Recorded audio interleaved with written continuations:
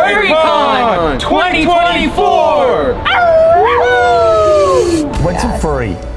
What is a furry? Well, furries are fans of anthropomorphic characters. Those are animals with human characteristics. And like any fan group, they have conventions They're called Anthrocon. There are 6,000 furries inside. We are at Anthro Northwest, which is a furry con in Seattle, Washington. We support all sorts of inclusivity. We're just trying to get an idea, you know, what inspires the outfits, what inspired wanting to be a furry. What you got to say, Juice? How long have you been a furry? How much did that furry suit cost? Who is the best furry in this furry town? Furry town, baby, Seattle, Washington. Yeah, Lindsay sent us. Uh, she said our press credentials would be ready immediately. What is your name or what do you go by? I go by Alex. Uh, I go by Zeno. My character's name is Mochi. Just call me Nerd. Bartholomew? It is Bartholomew. Bartholomew. In the fandom, I go by uh, Hoshna, or just Hosh for short. My name is Shinaki.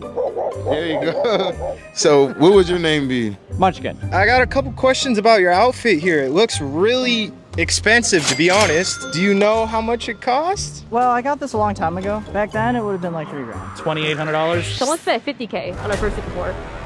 Yeah. Fifty thousand dollars. The thousands. Probably five to seven thousand.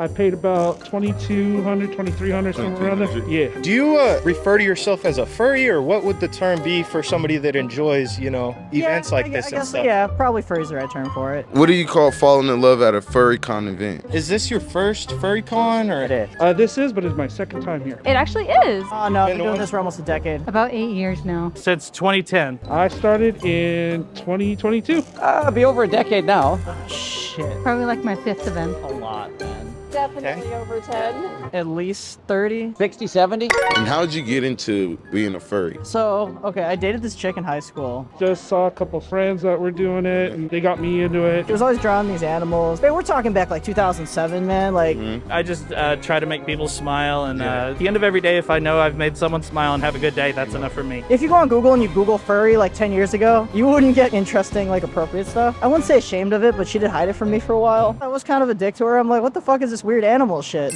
Yeah. and what does your character represent to you? Just a good way of expressing myself in ways that I wouldn't normally be comfortable, I guess. Well, she's a fennec fox. She's kind of fast on her feet. She's loud. I've always liked it. And also, it looks fun, it looks cute. I mean, it would be expressive and stuff. It's just a purple dragon cat, and it's just an OC of mine, original character. Oh, so she's like a Chinese dragon. I bought her um, secondhand off somebody. Okay. And so I kind of like finished the suit myself after I bought it and just like wore it here. Yep. I've had a love for rhinos my whole life. They're my absolute favorite animal. And the name came from a childhood toy that I had. My character here keeps evolving. He started off as one color, then kind of changed more and more, and this added more things to him. And I've only made a few children cry. Only a few children. Yeah. Do you believe in love at first furry, as Juice said? I mean, sometimes you just see a fursuiter. That fursuiter is a vibe. I love that Okay. suit. So yeah, there's some fursuit crushes going on. I'm not gonna lie. Is this your profile picture online? No, I really just kind of do it like as like a here for the moment kind of thing. I don't really have much of a presence on like Twitter, or Instagram, or anything like that. Yeah. I'm just here to have fun. I just noticed, is your tail just naturally moving, or does it have a motor with it or oh, something? It's naturally moving. It's my hips. You gotta show the people the tail. Oh, he's wagging it around. So, do you wear this to every furry con or? Generally, yeah. I made these suits, the paws. You did this in a couple weeks? Yeah. I built it. I, I probably got about 500 bucks of materials in it. Oh, So okay. it's, it's not that bad. It's cheap. Do you guys have like a group or like where you guys communicate? Like, Some people use Facebook groups. Some people use Discord servers. Like it's just kind of whatever. Telegram, Discord, uh, Instagram, uh, Twitter. Um, mostly Discord. Like I said, it's like it's like some of the same shit that everyone else does. Just we have a really specific hobby. when you spent the six thousand, were you like, yes? At first, I was like, "Fuck, Yeah. I just fucked up." Yeah. But now, now that I'm here, I am very happy with my Okay. Is this heavy or is it, is it easy to wear? Uh, so my legs weigh about five pounds. Um, the rest of the body is about two to three. So I'm lugging around eight to nine pounds plus a little bit more. Are you hot in that? Are you sweating? I am drenched right now. We all know thick thighs save lives. Did you intentionally make sure these thighs were all juicy and meaty, or did it just happen to be that way? It happened to be that way. Um, I didn't design this character. It was bought. It was like something that someone had as like a pre-made kind of thing, and I was like, yeah, Okay. this is kind of cool. I like it. Okay. It was unintentional, but I grew to love it. Why didn't you do a full outfit? Just the mask and the, the hands? I feel like being able to dress in different clothes is a bit more expressive. You know, I can show a bit more of myself. The the full body is cool, but then you're kind of stuck as that. You know, and it's really hot. Like Sure. really hot. If you were to have a partner, would they have to be into the furry world too? It would help, but no, not really. It's a my partner's decision to like decide if they want to be with me for being a furry or not. No, it's. I think it's actually healthy for uh, couples to have differences and be able to still love each other for it. So A lot of my socializing happens through the fandom. It's not that I'm looking for a furry to be my partner, it's that the people I found to be my partner are already furries. to have a certain checklist for someone, them to have your love, that's not really love in my opinion. Uh, that's an awesome answer. What if they said they didn't want you being part of the furry world no more? How would that make you feel? Is that a deal breaker? Not necessarily a deal breaker, but we definitely have to talk about it. They do have to understand like this is part of my lifestyle. Yeah. And if they're just gonna like hate me just for being this way, then it's just they're lost, I guess. Do you guys think Mochi has the best outfit we've seen this far? What do you think, Mochi? I hope so. Do you guys feel like you guys are the best dressed here at this con? Oh, absolutely not.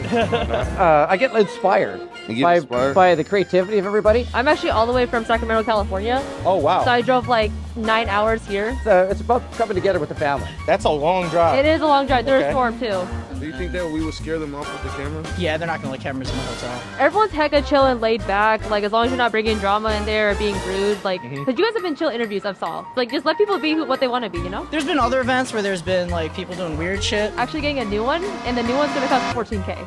Is it fourteen thousand dollars? thousand dollars. Yeah. What do you do for a living to be able to afford? that? Um. So I have like this one thing that I'm not allowed to share. What's the max? Or is there no price when like you're in the furry world? Well, if it's a good suit and you got the savings and you can spend it without putting yourself homeless or unhealthily, there isn't really a price on it. When did you start? As soon as I turned 18, I've been a furry since I was like 12. Find your local furry community. They will take you in with frickin' open arms. I cannot say this is not weird in some way, but What's one message you would want to tell the people about the furry world? We're just trying to have some fun. We're just trying to be chill. We don't mean anyone harm. Just come, check it out. Sometimes it's just regular ass people with a weird hobby. So what is so tough about leaving the furry world? I don't know, I've just been with it for so long and like it'd be kind of weird to leave behind, you know what I mean? It'd be like building a career on like baseball or basketball or something, just choosing one day like, oh man, you know, I don't want to do Do this. this anymore. anymore, yeah. Yeah. It's like you, you invest so much time into it. We're cool people. I'm not gonna lie, these are the friendliest, nicest, coolest people I've met. One of my goals for tonight is to get somebody